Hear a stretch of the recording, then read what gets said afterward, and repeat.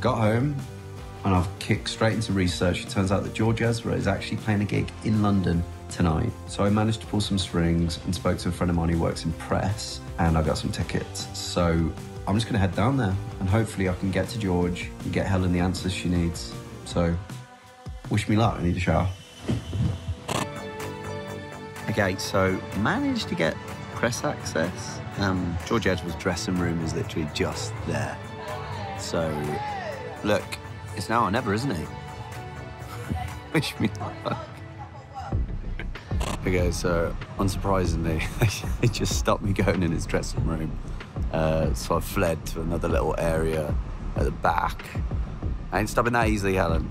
Okay, so update. I'm waiting here for about an hour and a half now. I think I'm just gonna stick it out. Some point, he's got to come from there and go to the stage. I'm an optimist. Okay, guys, so I just, uh, I'm just leaving George Ezra now. So I couldn't get to him. I knew if I could appeal, he's a nice guy. Like I knew if I could appeal to his sense of like his decency, then he would have done it. But I just couldn't get to him, unfortunately. Okay, I'm signing off. Bye.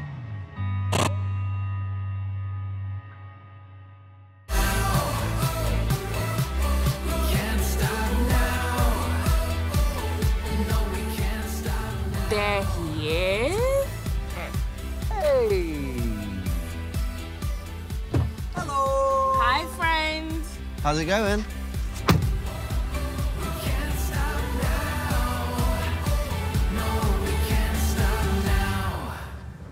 All right, so Oobah, what you been up to? What's been going on, man? I obviously was saying about how we need kind of expert advice on this. Yeah, yeah. So I've reached out to a professional who can help us. His name's Andy. He's ex Scotland Yard. So he's like, Really? yeah, he's like helps with like fraud. So I sent Andy all the information. So he's gonna be well versed in how to help Helen best. Amazing. That's great, man. So we're gonna go and see him now. All right, so you're gonna direct me as to where we're going then? Yes. Yeah, take a right here.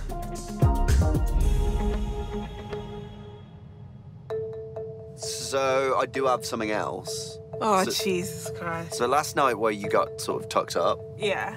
I went out, okay? Without me. Yeah, I went to Finsbury Park Oh, and George Ezra was playing. you're lying. I managed to get a backstage pass and I got to George Ezra's dressing room and his team immediately saw me. They were aware of what I was up to. oh, And they just basically said, I'm sorry, we just can't help.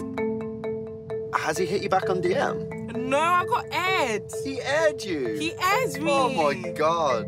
So we are both being humiliated left, right, and centre on this one. Oh my god, I'm getting a call. For me. Dunno, no number. Hello? Hi. Hey. Hi, Jesse. How's it going? We're doing good. Good. Yeah, hi guys. Hi, Helen. What's up? Mom didn't think this was that important, um, but I just thought it might help the investigation a bit. Okay. Um, yeah, I mean, I'll let her explain. Well, I, I didn't think it was important because it isn't kind of the same thing. I don't know if all of this is connected, But a few days ago, I had this call from a loans company to say they'd put some money in my account for my loan application. The what? Right. And um, I said, no, I haven't applied for any loans. And they said, oh, well, uh, we've just put £26,000 in your account. Wow. And I was like seriously panicked. This is happening at six in the morning. And then I got this call from a policeman, um, works with serious organised crime, Right. New Scotland Yard. Uh, and he said, yeah, we've got this um, loan fraud going on. So you had this money in your account, and what did you do? What did they ask? They asked you to try. He told, he told me to move it out into a different account.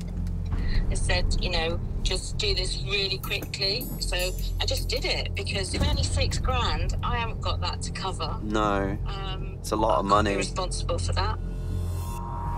I mean, this kind of is raising some red flags for us. Yeah. Look, we're speaking to someone who we think might be able to help with this. Um, so hang tight, we're going to be in touch, okay? Yeah. Thanks, guys. You've been so helpful. Thank you, Helen. Bye, Helen. How crazy is that? This sounds like she's been scammed. I feel like this is really serious. Like, we've actually never had anything like this happen before.